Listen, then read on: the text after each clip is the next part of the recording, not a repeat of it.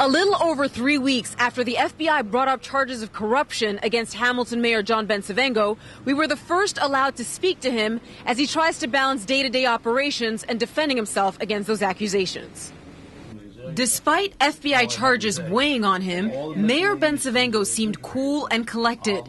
He refused to answer any questions related to that FBI investigation, but he did want to reassure residents that he's fulfilling his duties as mayor.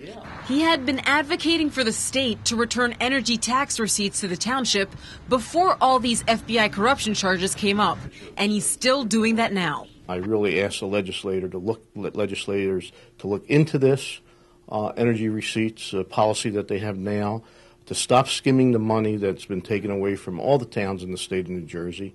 Uh, in 2010, we lost five million, uh, which affected our, our, our tax revenue for this tax season.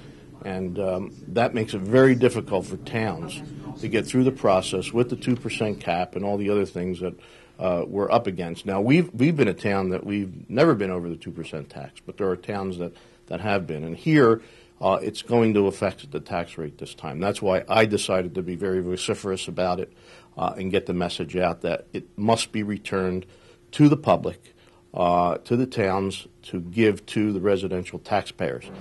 The mayor is pleased to report that his efforts have led to significant progress in getting the state to pay up. There's a bill in right now, I think it's S 1900, which uh, was put in by the budget uh, uh, chairman, uh, Mr. Sarlo.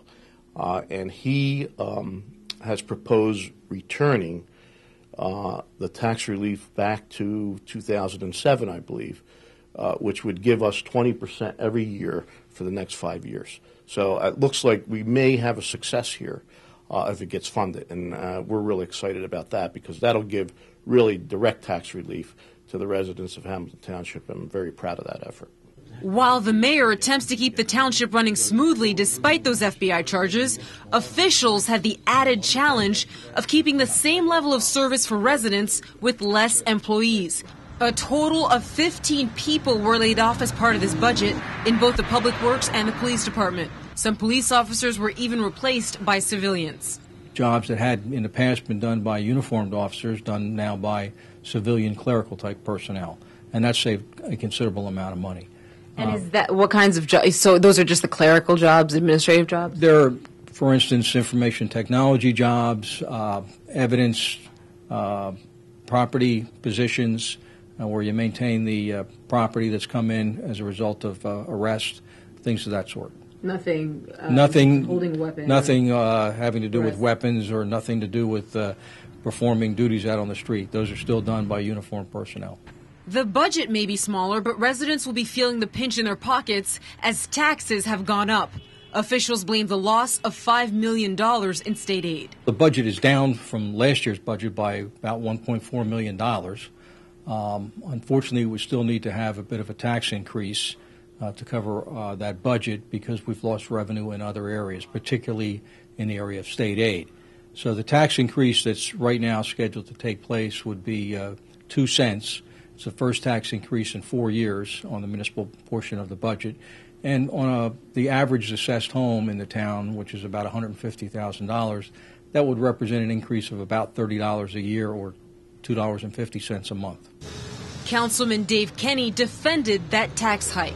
Considering the price of gasoline has gone up so much, uh, medical insurance has gone up. There's a lot of expenses that have gone up. We still have wage increases because we're under union contracts that will expire June 30 of 2013. Um, even despite that, it's only a 1.8% increase after we've had four budgets with no tax increase. So, you know, the, the business is being handled well by this administration still. Um, but I mean, using that same argument, yeah, the price of gasoline is going up. A bunch of prices are going up. So can residents afford? It's a small tax hike, but it's still a tax hike. Look, we would like to keep the uh, the tax rate flat. The only way to do that would be to lay off people. Keeping taxes flat would have required laying off even more township employees. Residents will get the opportunity to voice their concerns about the budget at council's first meeting in June.